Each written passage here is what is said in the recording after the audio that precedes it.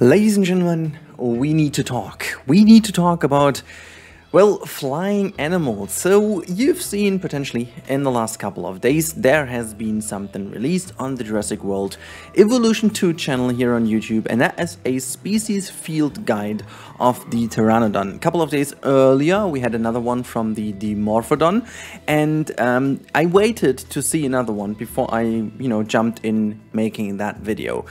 Today I'm not going to talk about so much Jurassic World Evolution 2. I'm more likely going to talk about what that means for our wonderful game Planet Zoo and the future of this game. So why am I picking this is pretty obvious. Um, the only species, so to say, missing in Planet Zoo is obviously birds or at least just all kind of flying animals. We do have flamingos, we do have ostriches and stuff, but these birds are like most likely non-flying animals. And as we already had, you know, Pteranodon, for example, in Jurassic World Evolution with the um, Jurassic Park or Jurassic Park update um, and the aviary, this is a completely different story. And I'm, I'm just gonna first of all brief you guys in for those of you who haven't followed the news on Jurassic World Evolution 2 so that you're just up to date. So yes, it is confirmed that these animals are not in a looped animation. They are basically flying free in this aviary over here. And also, um, it is confirmed that this aviary is not a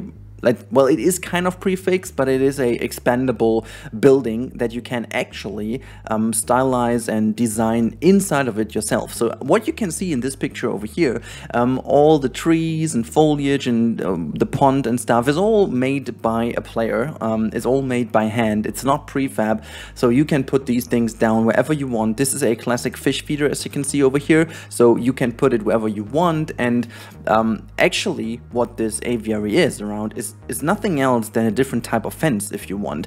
So this can also give us a little bit of a hint what Frontier did over here. Imagine this aviary is a basically turned around tank if you want from the aquatic pack update. So imagine you have a tank in which the animals do deep dive, for example the seals or the penguins. Um, they have a water volume to basically swim in, to dive in. And I think what they did in here is basically take the same system and just completely uh, turn that around uh, into the air. So you basically have an air volume if you want. And in order to have like you know barriers that kind of go in line with this, this idea with this philosophy they created the air aviaries as they stand over here. So you can see in this videos i'm going to just leave this loping in the background before we actually look a bit more into these animals.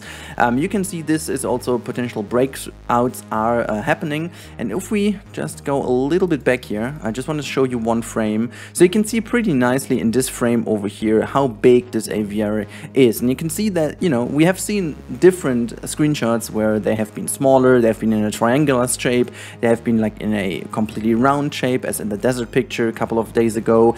Um, it has been shown already in a somewhat L form. You know, different types of forms have already been shown. Um, so we can safely say that this is a customizable or like, um, you know, can, can add different elements to it to kind of create a bigger aviary as it already stands. So that is a very good information and I really do hope that this is going to translate over into Planet Zoo. And I think there are a couple of hints and signs that are not guessing, but there are actual good signs um, that what I'm going to talk about is, is more than just a guess and more than just a rumor. So what we know for certain is that Jurassic World Evolution 2's engine is somewhat supported on Planet Zoo 2. There has been there has been some ana analysis going on to the, the, the, code and stuff, and you've also potentially noticed that yourself um, with the last big update um, with the last DLC for Planet Zoo, they upgraded the engine. Um, especially the modders, for example, they noticed that their things have changed.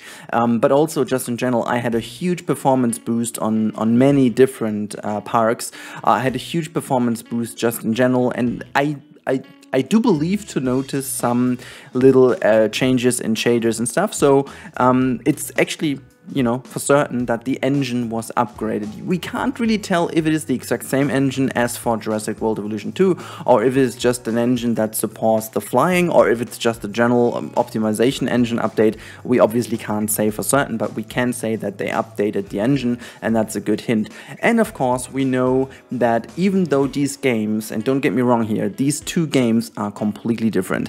Jurassic World Evolution um, 1 and also the second game now have nothing to do with the Planet games as as for the game. So there's no kind of um, you know benefit from each other. You know, I've I've already shown that some of the assets, such like stones or trees that you can see here in the background, um, are somewhat similar to the ones in Planet Zoo. But this is you know this is not like related to the type of games. This is because Frontier owns these art sets, and it just makes sense to use the same art sets in the same game because effectively it's a 3D model that you have from Blender, or I think they are using Maya, so it's kind of a Maya file that you can basically use in every game you create. And since, you know, we are speaking about somewhat of the same types of uh, biomes and stuff, like in Planet Zoo, it makes total sense that they reuse the same models because why would you change something that is already pretty good?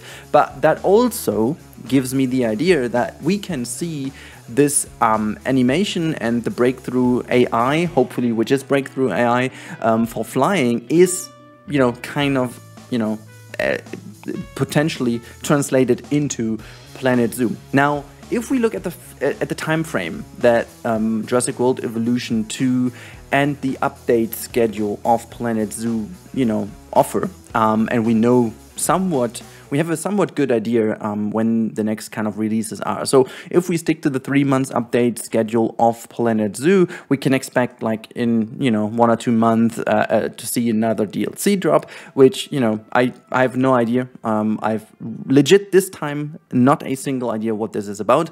But I would if I would need to put my money on it, I would say 99% we will not see any flying animals.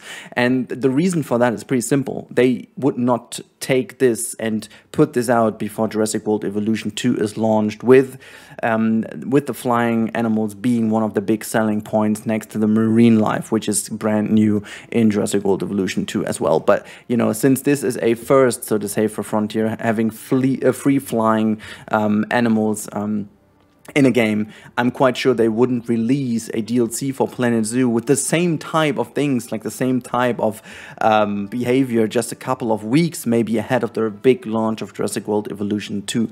That said, I think it's more likely that we will see a end of the year holiday update of Planet Zoo featuring the flying animal, maybe like a bird pack, similar to the aquatic pack at the end of last year. Um, I think it makes sense for a lot of reasons, and I think in the timeline and in the in the bigger picture, um, it, it kind of makes a lot of sense. And also, Let's talk a little bit further about the future then, because as I said at the beginning, we do not talk only about this, but also for the future. So people have noticed that um, Frontier is looking for new producers and animators, uh, if I'm not uh, if I'm not wrong here, um, especially for Planet Zoo. So if you go to frontier.com/careers or jobs, you'll find uh, some job offerings, um, especially mentioned for Planet Zoo, which is interesting because the game is in its uh, second year of support already and will enter the third year of support, which is quite a long time uh, supporting a game, anyways. And uh, even though they have said they will be you know featuring this game for longer it's never it's never a given you know? You can never expect this to be um, a 100% uh, safe thing because you know development changes all the time. Development changes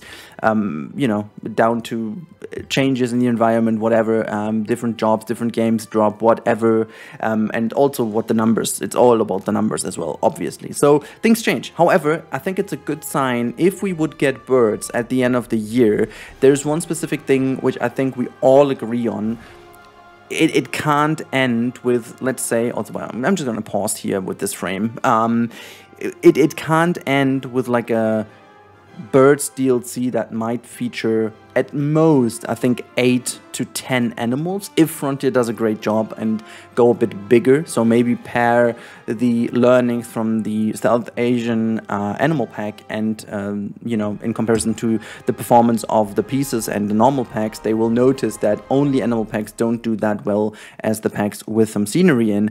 Um, and obviously, going into a completely new species with flying animals and birds, we will obviously need some more scenery pieces. We got the mesh fence pieces, but maybe we will get some rope fences and stuff which will be great, or maybe like a new type of barrier, which we need for the system anyway. So kind of new things are on the horizon if we talk about this. But then again, again, this is not the last animal pack or whatever we would see because how would that be like a game that has like let's say i don't know 80% of the game are terrestrial animals then we have uh, somewhat marine animals is actually the wrong word we have like semi-marine animals if you want um, because all of the diving animals we have at this point are not solely marine animals. Um, so again, th this would be another little area where we could dive into haha next year. But anyways, we at least have the mechanic of diving in the game. So that said, the year 2020 two would be the perfect year for Frontier to expand on the variety of animals. So you have all the all the behaviors in, and then you could really go crazy on different themed packs with a lot of different animals, some pieces, and maximize just the different variety, uh, variety of animals and uh, you know these kind of things. So I really, really, really do hope that we are going to see things like this in Planet Zoo in the future, and I really can't wait to to try Jurassic World Evolution 2 um, to get a feeling of how natural the flying animations feel. Because as I did do a little bit of an analysis on the Pteranodon in Jurassic World Evolution 1 with the Return Jurassic Park mod, um, since it was a looped animation, it's kind of unfair to compare that. If you guys haven't seen my climbing analysis of Planet Zoo, I highly recommend to do so because that explains why some of the animations in this game look a bit quirky, look a little bit weird, and why we have all these glitches. Anyways, to wrap it up, um, I think we can just say chances are really, really great that we might see also birds and flying animals in Planet Zoo well, maybe sooner than we all expected. Um, or, well, I, sh I shall say expected and not hoped, because we certainly did hope for that. Um, yeah, so I really hope you guys enjoyed this real quick update on, on what's going on with uh, flying animals in Jurassic World Evolution 2, obviously, as we clearly have the confirmation now, um, and also as like a little hint on what that means uh, for Planet Zoo and its future further into 2022. And yeah, I think um, I'm very much... Uh, positive looking into the future of both games actually. And I really hope uh, that we yeah. We can can have that soon in the game and enjoy this as well. Um, let me know in the comments down below what you think would be the best uh, way to integrate flying into Planet Zoo because certainly we don't have aviaries like in Jurassic World. There's no counterpart in a movie or so. Um, so what is a system you you would prefer to to see flying realized in Planet Zoo? Do you think we can kind of get invisible tanks in the air, like invisible air volumes if you want to have maybe even free fly option, um, and then use the mesh pieces basically as as potential uh, you know, barriers and stuff? Or do you think we will get like a new fence type in which we could create our own tents in a way, or like mesh tents if you want? Um, or do you think it will be completely different? And if so, what do you think that is? Uh, so I'm really interested to, to hear what you guys think about that. Anyways, um, have a good day, guys. Uh, make sure to keep your eyes on the channel on this weekend. There's a couple of cool things coming to the channel, a couple of new dioramas, a bit more about Jurassic World Evolution 2, and yeah, just in general, some good stuff. I really hope you guys enjoy as always.